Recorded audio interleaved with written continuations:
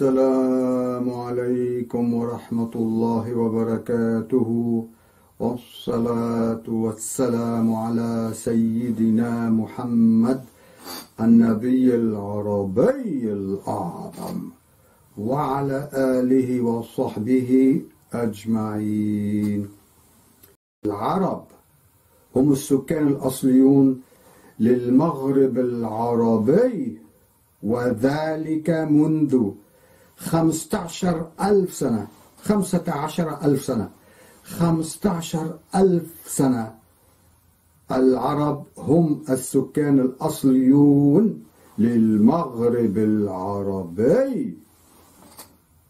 وذلك حسب أدلة من؟ علماء الجينات الوراثية. وليس أكاذيب المستعمر الفرنسي أو الصهيونية العالمية والحركة الأمازيغية وليدة المستعمر الفرنسي والصهيونية العالمية. كما علينا معرفة أن العرب هم الأغلبية الساحقة في المغرب العربي. فكما قلت العرب هم السكان الأصليون للمغرب العربي سكنوا وأقاموا وبنوا فيه المدن والحضارة منذ 15 ألف سنة. وكما ذكرنا في الماضي من أدلة علماء الجينات والجيولوجيا أن مليارات من البشر أصلهم عربي من جنوب الجزيرة العربية وأن العروبة ظهرت منذ عشرين ألف سنة. العروبة ظهرت منذ عشرين ألف سنة.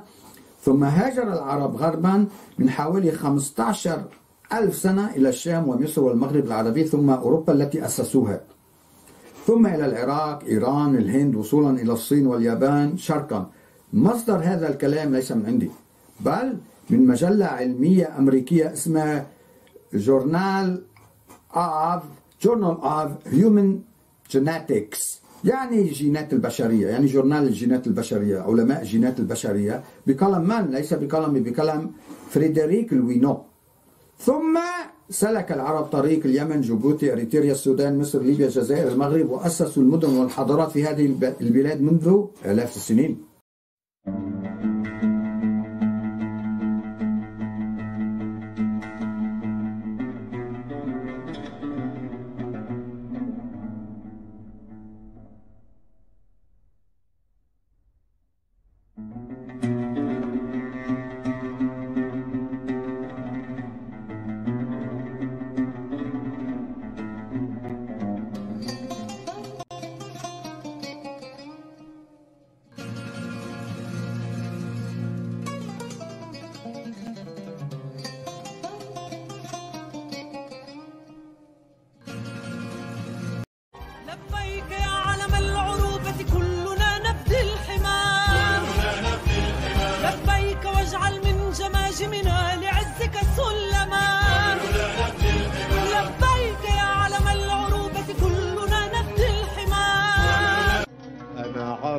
أصيل وبأصالتي تكمن علتي. عربية. أرض ستبقى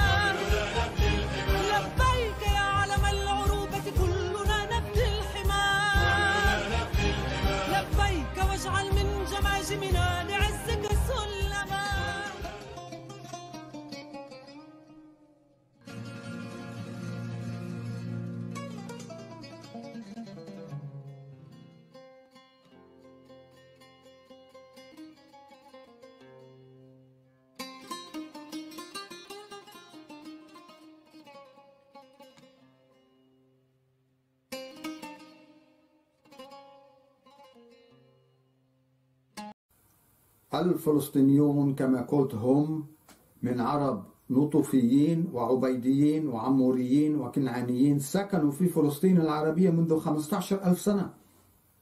ووادي النطوف طبعا نطوف كلمة عربية كذلك الأمر غرب القدس وادي النطوف وغرب القدس شاهد ودليل آثاري علمي على كلام هذا.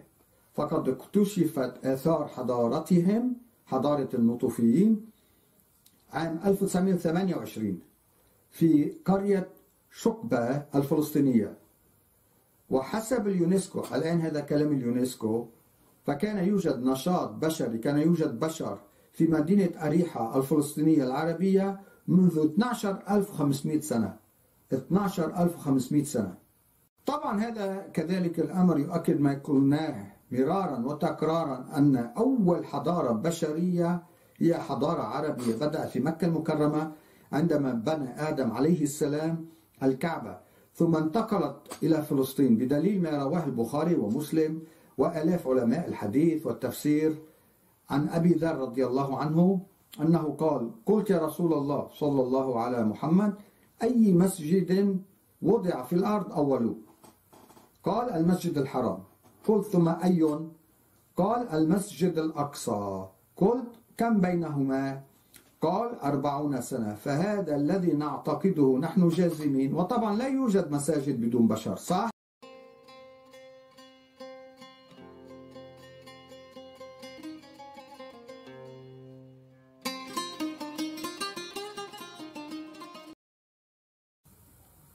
فقال قاضي كل إفريقيا الحافظ عبد الرحمن ابن زياد قال كنت وأنا غلام مع عمي في قرطاجه نمشي في آثارها ونعتبر بعجائبها.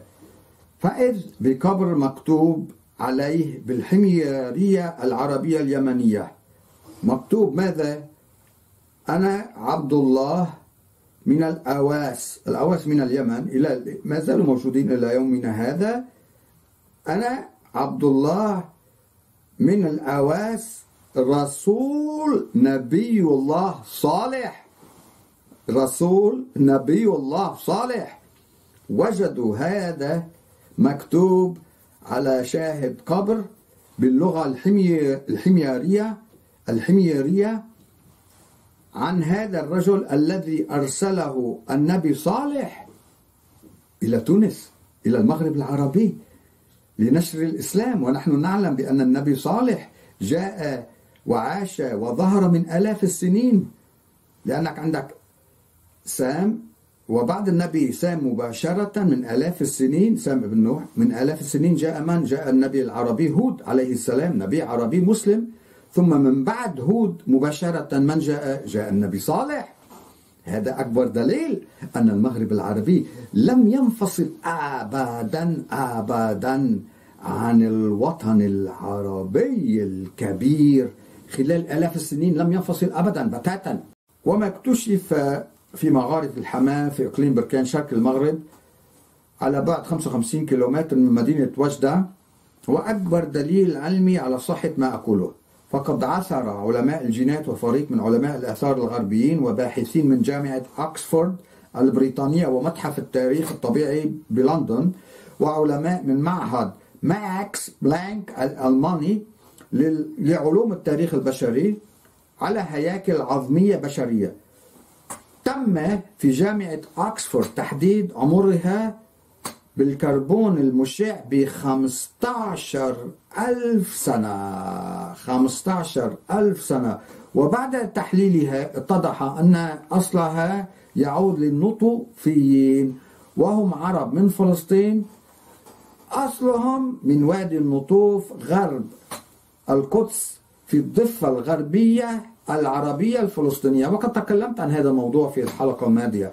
وحسب اليونسكو الآن ليس كلامي حسب اليونسكو فإنه كان يوجد بشر بني آدم ناس عرب في مدينة أريحة العربية الفلسطينية منذ 12500 سنة. 12500 سنة. هذا أكبر دليل علمي على صحة ما أقوله.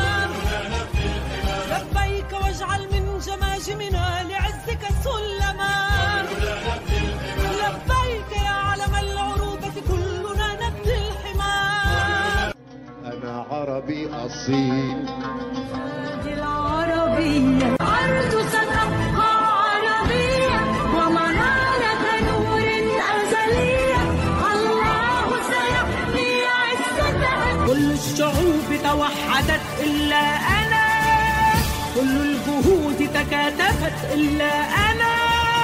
كل الشعوب توحدت إلا أنا. كل الجهود تكاتفت إلا أنا.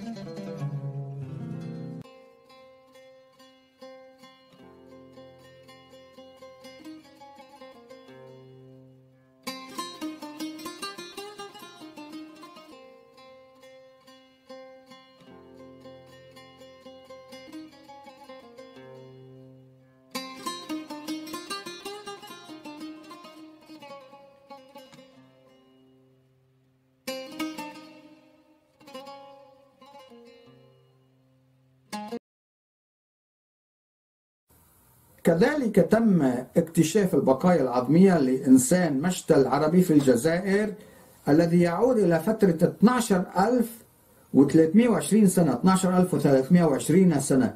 وبعد فحصه من قبل علماء الجينات تبين أنه عربي يمني الأصل أنه عربي يمني الأصل يعني أدلة علمية قاطعة ساطعة على وجود العنصر العربي في المغرب العربي منذ خمسة عشر ألف سنة. لا ينفي ولا يكذب هذا الكلام سوى الشعوب الحقود والمعتوه والجاهل بالعلوم البشرية والجينات الوراثية وعلماء وعلم اللسانيات واللغات. لنتابع إعطاء الأدلة. يقول ابن خلدون في المقدمة صفحة 114 والعرب السالفة من التبابعة وحمير كانوا يخطون يخطون من اليمن إلى المغرب مرة وإلى العراق والهند مرة أخرى. ولم يكن هذا لغير العرب من الأمم. هذا كلام ابن خلدون. كذلك يقول ابن خلدون في المقدمة صفحة 120 ما كان في القديم قديم الزمان لأحد من الأمم في الخليقة ما كان لأجيال العرب من الملك ودول عاد وثمود والعمالقة وحمير والتبابعة شاهد بذلك هذا كلام ابن خلدون. ثم بدأت هجرات عربية منظمة من ملوك العرب من اليمن إلى مصر ثم إلى المغرب العربي وبنائهم للحضارات والمدنية. وكل المدن فيهما في مصر وفي المغرب العربي بالتسلسل الزمني. سنبدأ منذ ستة ألاف سنة ستة آلاف سنة إلى القرن السادس عشر ميلادي. بدأت هذه الهجرات العربية المنظمة من ملوك عرب. يقول الدكتور المصري أحمد فخري وهو أستاذ تاريخ مصر والشرق القديم في كتابه الدراسات في تاريخ الشرق القديم صفحة 124 هناك حقيقة مهمة أنه في الألف الرابع قبل الميلاد وصلت هجرات من جنوب الجزيرة العربية إلى مصر.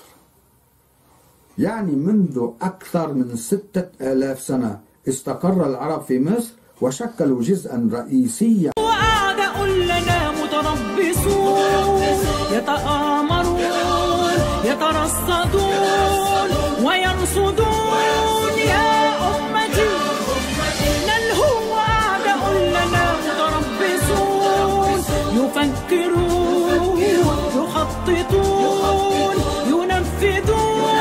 يا أمتي نلهو وأعداء لنا متربصون يتآمرون يترصدون ويرصدون يا أمتي. ودائما نقول كنا ودائما نقول كنا. ثم انتقل العرب من مصر إلى المغرب العرب- العربي وبنوا المدن والحضارة فيه. في أعماق هذا المجتمع المصري القديم الروح العربية الأوروبية الدليل اللغة. هذا هو المستند الذي يجب أن نرجع إليه. إنما النظريات تأتيني من جويني تأتيني من جابرييلي تأتيني من بيير تأتيني من جوستاف أنا لا يهمني هذه الأسماء. ويؤكد أنجلباخ أن عنصر الأسرات الحاكمة في وادي النيل عربي وأن اللغة المصرية القديمة عربية. أما وورد فيؤكد ما قاله أنجلباخ ويقول أن عنصر الأسرات عربي جاء من سوريا وليس من اليمن. وروى قدماء المصريين أنهم جاءوا من الشرق أي من سوريا ومن الجنوب. أي من اليمن. إنك حينما تتصفح التاريخ العربي القديم تجد هؤلاء الذين يقولون بأنهم أنشأوا الأهرام أهرامات مصر. تجدهم يقولون هؤلاء أتوا من الجزيرة من العمالقة من آه، من الفينيقيين. وما الفينيقيون ولا- والعمالقة إلا أسلاف العرب الأوائل. نعم. إنهم أمم عربية ولكننا جهلنا تاريخها وأردنا أن نضيفها إلى العدو البعيد الذي يريد أن يبعدنا كما يؤكد الباحث محمد حسين فرح اليمني في كتابه عروبة البربر أنه في سنة 3850 3850 طبعا قبل الميلاد أي من حوالي 6000 سنة بلغ أحد ملوك اليمن شواطئ الأطلسي في الأقصى المغرب في أقصى المغرب منذ 6000 سنة. كما يؤكد الدكتور أسد أشكر السوري في كتابه تاريخ سوريا ليس من قبيل المصادفة أن تقع عام 3500 قبل الميلاد يعني من 5000 5500 سنة موجة هجرة عربية من الجزيرة العربية إلى بلاد الرافدين وهجرة إلى سوريا ومصر في وقت واحد في نفس الوقت. ثم جمع الملك سبأ بن يشجب سنة 3500 قبل الميلاد أي من 5500 سنة جمع من أبناء سام وقحطان. من الجزيرة العربية وسار بهم إلى أرض بابل حتى عبر بهم إلى الشام ومصر ومن مصر انتقلوا إلى المغرب. كذلك حصلت هجرة العموريين وهم كما قلت أحفاد العماليق سنة 2500 2500 قبل الميلاد يعني من 4500 سنة من العراق والشام إلى مصر والمغرب العربي. والعموريون هم من بنى الحضارة في مصر القديمة والعموريون العرب هم من بنى الحضارة في مصر القديمة والمغرب العربي. ثم تلتها هجرة الكنعانيين من جنوب الجزيرة العربية إلى الشام ومصر والمغرب العربي منذ أكثر من 4500 سنة. ثم سار الملك سبأ عبد شمس سنة 2150 قبل الميلاد. أي من أكثر من 4000 سنة إلى مصر حتى بلغ أقصى المغرب. وبعدها وصل الملك شداد ابن عاد ابن شمس سنة 1790 قبل الميلاد من حوالي 4000 سنة إلى المغرب الأقصى حتى بلغ المحيط وهو يبني المدن والمصانع ثم أقام في المغرب. كذلك جاء الملك الرائش في القرن الخامس عشر قبل الميلاد أي من 3500 سنة وأخرج العمالقة من عمان سلطنة عمان وسار بهم إلى الشام ومصر ثم إلى ليبيا وتونس والجزائر والمغرب. فقد جاء الملك إفريقايس زمن النبي العربي المسلم موسى عليه السلام من حوالي 3500 سنة. فساق البربر اسمعوا فساق البربر من اليمن والشام ووصل إلى مدينة طنجة وأسكنهم المغرب. ثم أوطن الملك إفريقايس قبائل كنعان وحمير في المغرب العربي وبنى إفريقيا. كذلك أكد القسيس والمؤرخ المسيحي جيروم ولد سنة 340 ميلادية أن الكنعانيين اسمعوا أن الكنعانيين هاجروا من فلسطين إلى شمال شمال إفريقيا في عهد من؟ يوشع خليفة النبي موسى عليه السلام.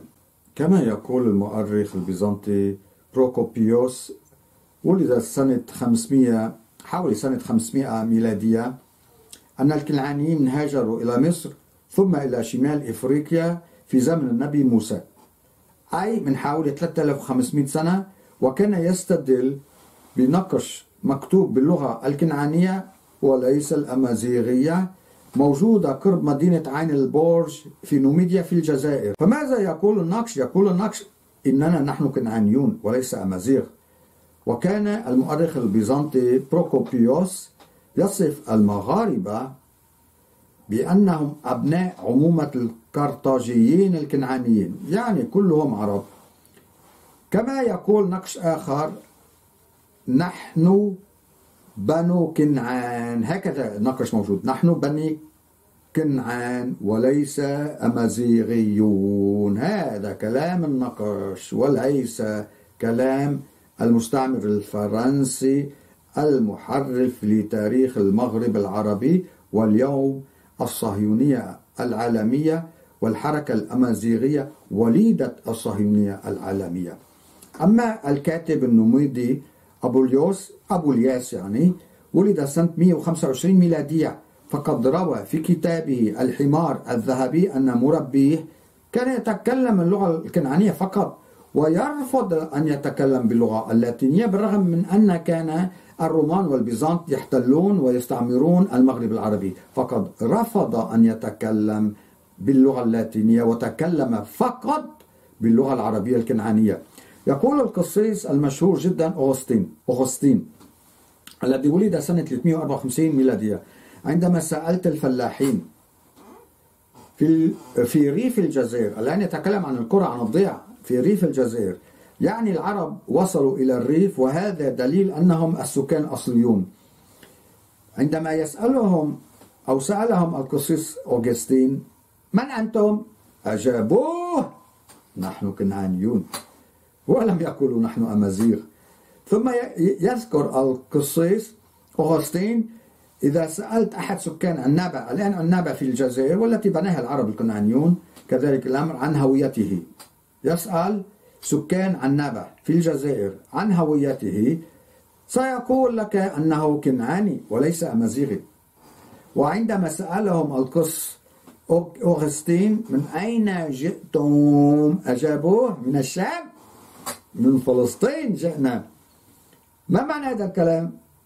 معنى هذا الكلام أن القسيس أوغسطين بنفسه كان يتكلم اللغة العربية الكنعانية التي استمرت إلى الفتح الإسلامي وقد تفاهم العرب. اسمعوا لهذا تفاهم العرب مع بربر المغرب العربي بكل سهولة. تفاهموا مع بعضهم البعض بكل سهولة. وتكلم بربر المغرب العربي عند الفتح الإسلامي اللغة الفصحى بعد أسابيع فقط. لأنها لغة عربية البربرية لغة عربية كما قلت. الآن العرب احتلوا كما نعلم وسكنوا هم لم يحتلوا إسبانيا لأن إسبانيا هم الذين بنوها من 3300 سنة. بناها الفينيقيون إسبانيا والبرتغال وجنوب فرنسا وإيطاليا إلى آخره. العرب بقوا في وبنوا الحضارة في الأندلس. 800 سنة ثمانية قرون وكذلك البرتغال وإيطاليا وفرنسا يعني حكموها خلال 400 سنة وعندما زال الحكم العربي في إسبانيا وفي البرتغال وكذلك في فرنسا وإيطاليا ماذا تكلم شعوب هذه البلاد؟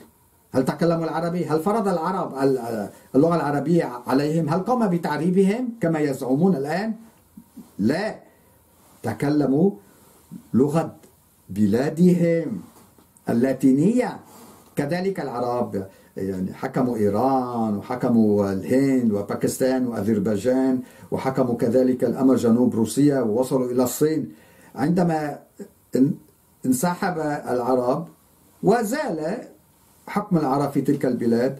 هل تكلم اللغة العربية كل هؤلاء الشعوب شعوب تلك البلاد؟ أما تكلموا لغتهم المحلية تكلموا لغتهم المحلية طيب لماذا ما زال الشعب العربي في المغرب العربي يتكلم اللغة العربية إن لم تكن لغته الأصلية إن لم يكونوا عرب أصلا صح؟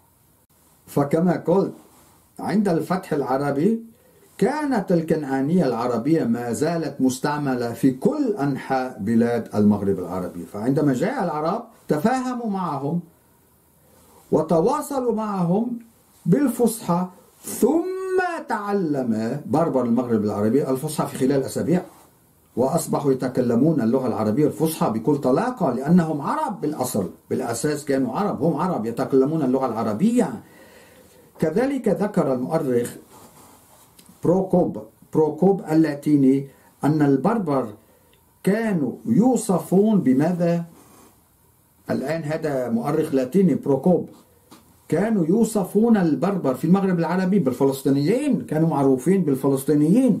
من ذكر هذا الكلام؟ ذكر هذا الكلام المؤلف محمد مختار العرباوي صفحة 294 في كتابه البربر عرب قدامى وهو تونسي.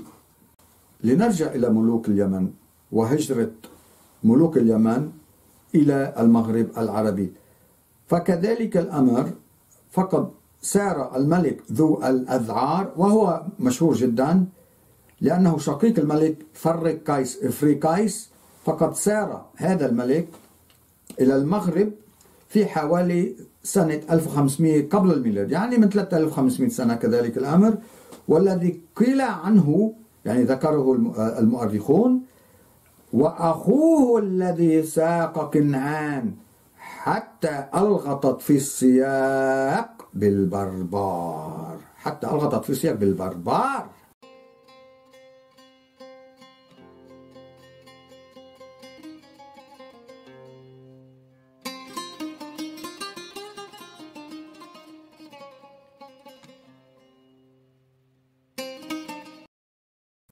سانت اوغستا في القرن الرابع من من الجزائر في بلاد الجزائر يقول interrogati rustici nostri quid sint سألت أهل الريف أهل الأرياف ماشي تاع عنابة.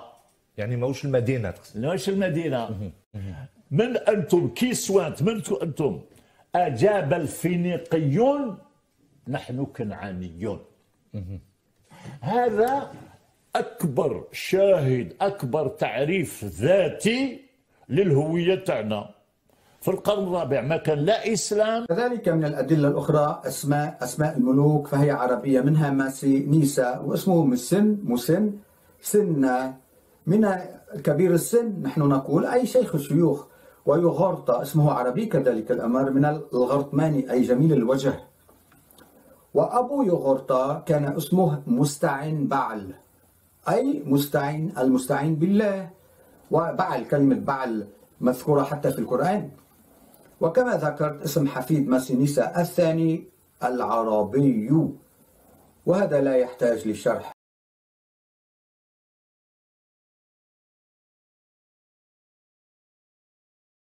ويذكر الباحث فرانسوا دوكري أنك لو سألت فلاحي تونس من أين أنتم؟ سيجيبونكم بلهجتهم الفينيقية. نحن كنعانيون.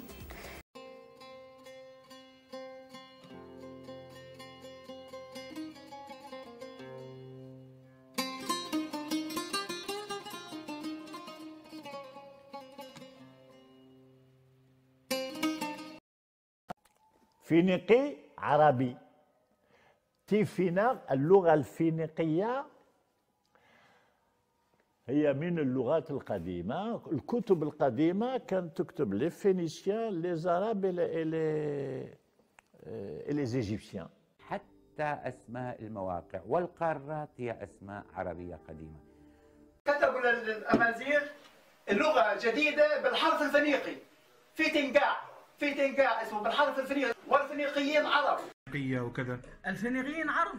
فينك باللغة الشحرية تعني المستطلعين الباحثين عن المرعى أو المأكل أو المشرب الجيد.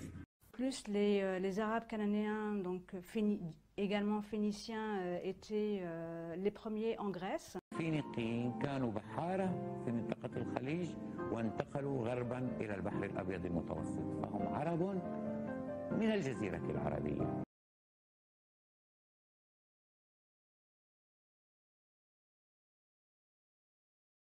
الشعوب توحدت إلا أنا. كل الجهود تكاتفت إلا أنا. كل الشعوب توحدت إلا أنا. كل الجهود تكاتفت إلا أنا.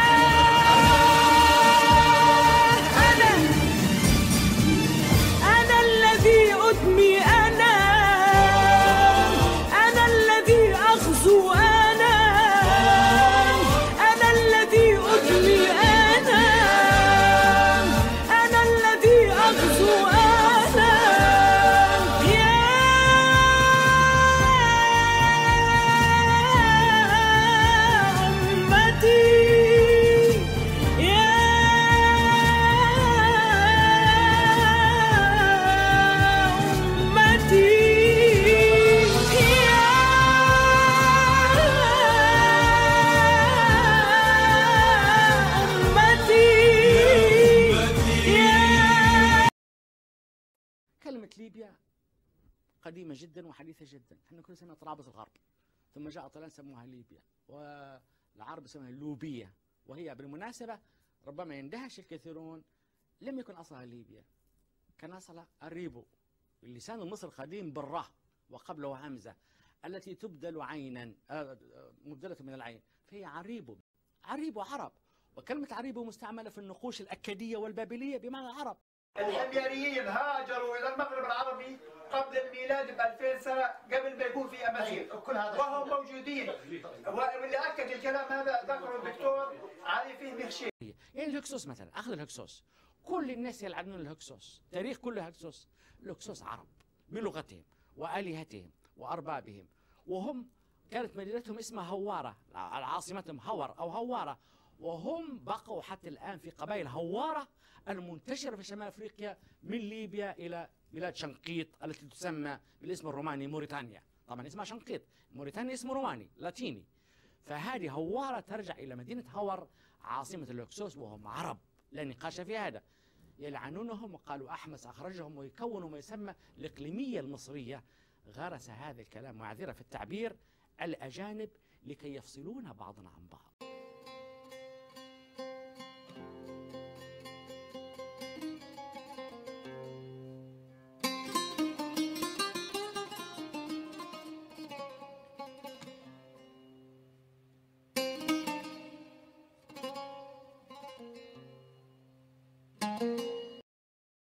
كما ذكر ابن خلدون والبلاذوري والمسعودي وكثير من المؤرخين أن الملك اليمني ذا الأذعار أخو إفرايكس وصل إلى المغرب قبل, أخيه إفرايكس وفي هذا السياق يقول المؤرخ نشوان الحميري وأخوه إفرايكس وارث عرشه حتف العدو وجابر المتاح ملك بنى في المغرب إفريقيا وأحل فيها قومه فتملكوا ما حولها من بلدة ونواحي. كذلك فقد ذكر كل المؤرخين العرب المسلمين أن إفريقيا اسم إفريقيا جاء من اسم هذا الملك افريقايس وهو فرق قيس. فرق قيس أصبحت افريقايس أصبحت في اللاتينية افرايكس ثم في حوالي القرن العاشر قبل الميلاد طبعا يعني من أكثر من ثلاث ألاف سنة بنى الملك العربي اليمني ياسر ابن ينعم مدينة قرطاجة وبالمناسبة اسمها ليست قرطاجة هذه ترجمة لاتينية. سوف نتكلم عن هذا في الحلقة القادمة إن شاء الله. كمستوطنة بناها بنى قرطاجة كمستوطنة سبائية فينيقية.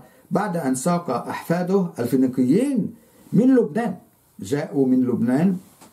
كما بنى الفينيقيون العرب مدن المغرب العربي. كل المدن في المغرب العربي بناها الفينيقيون العرب الذين جاءوا من لبنان وسوريا وذلك منذ حوالي 3500 سنة 3000 بدءا من 3500 سنة. بعدها سار الملك العربي اليمني أبي كرب أسعد إلى المغرب العربي. في القرن السابع قبل الميلاد يعني من 2700 سنة أكثر من 2700 سنة واستقر في المغرب. هو وعرب من الحميريين والقحطانيين. وفي هذا يقول شاعر بني أسعد ومنا بأرض المغرب جند تعلقوا إلى بربر حتى أتوا أرض بربرة ثم توالت الهجرات العربية إلى المغرب العربي من اليمن والعراق والشام ومصر في القرون التالية قبل الميلاد. وبما أن المغرب العربي هو البوابة الغربية للوطن العربي الكبير والضامن لأمنه القومي من غزوات الهمج والأوباش والرعاع والمتوحشين القادمين من أوروبا لذلك حافظ أجدادنا العرب خلال آلاف السنين على أمن المغرب العربي وسارعوا سارعوا لتنظيفه من رجس الرومان الوثنيين والبيزنط والإفرنج خلال الفتوحات العربية الإسلامية زمن الخليفة عثمان بن عفان رضي الله عنه والتي شارك فيها كبار الصحابة وأولاد الصحابة منهم الحسن والحسين وعبد الله بن العباس رضي الله عنهم أجمعين وعبد الله بن الزبير وحطموا وانتصروا على جيش البيزنطيين والإفرنج. كما قتل عبد الله بن الزبير ملك البيزنطيين جورجير. ثم تبعها هجرات من كما نعلم من بني هلال وسليم وقبائل عربية كثيرة أخرى لنهاية القرن الخامس عشر ميلادي ولم تتوقف إلا في القرن السادس السادس عشر. في نصف القرن السادس عشر لأن في القرن السادس عشر بداية القرن السادس عشر هاجر كثير من العرب كما نعلم من إسبانيا خلال محاكم التفتيش والإجرام وكل المجازر التي ارتكبها الإسبانيون بحق العرب والمسلمين. فتوقفت في القرن السادس عشر عندما سيطر على البحر الأبيض الأسطول العثماني وعلى المحيط بحر المحيط من سيطر عليه؟ الأسطول الإسباني. هنا توقفت كل الهجرات العربية إلى المغرب العربي. فكما رأينا فإن الهجرات العربية من الجزيرة العربية ومن اليمن وكذلك من الشام سوريا وفلسطين والعراق بدأت منذ خمسة عشر ألف سنة خمسة عشر ألف سنة. وكما شاهدنا فقد هاجر العرب النطوفيين من فلسطين إلى المغرب العربي منذ خمسة عشر ألف سنة. ثم تلت هجرات عربية كبيرة توقفت في القرن السادس عشر كما كما قلت. كذلك الأمر لا ننسى بأن السكان الأصليون للمغرب العربي هم العرب.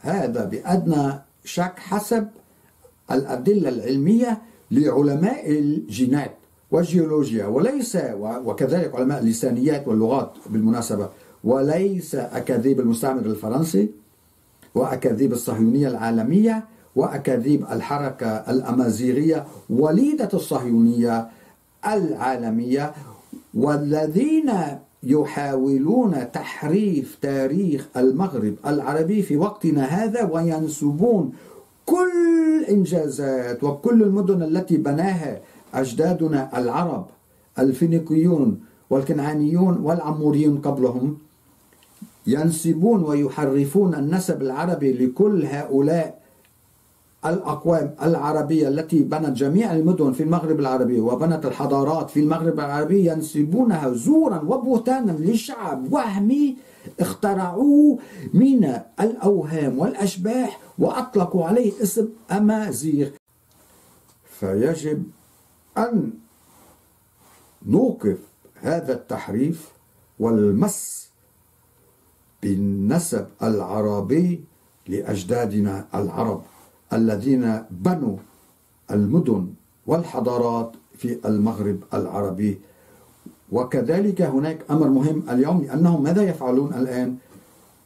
ينشرون مئات الأكاذيب على الشابكة على الإنترنت وفي التلفزيون وينشرون كل هذه الأكاذيب بأن تلك الأقوام وتلك الشعوب العربية من عموريين وكنعانيين وفينيقيين كانوا أمازيغ والملوك كما قلت كما رأينا ملوك العموريين كششناك أو ملوك الكنعانيين كانوا أمازيغ وهذه كلها أكاذيب وأباطيل لا أصل لها في العلم أو في التاريخ أو في الآثار. لم يعثر علماء الآثار على شيء اسمه أمازيغ لغة أمازيغية عملة أمازيغية مكتوب عليها بالأمازيغي حضارة أمازيغية شعب أمازيغي. أبدا أبدا. فلينتبه المواطن المغاربي في الجزائر في تونس في المغرب بلد المغرب ينتبه من هذه التحاريف وهذه الأكاذيب والأباطيل التي يفبركها كل يوم من؟ الحركة الأمازيغية والصهيونية العالمية كما رأينا. لنتوقف هنا والسلام عليكم ورحمة الله وبركاته.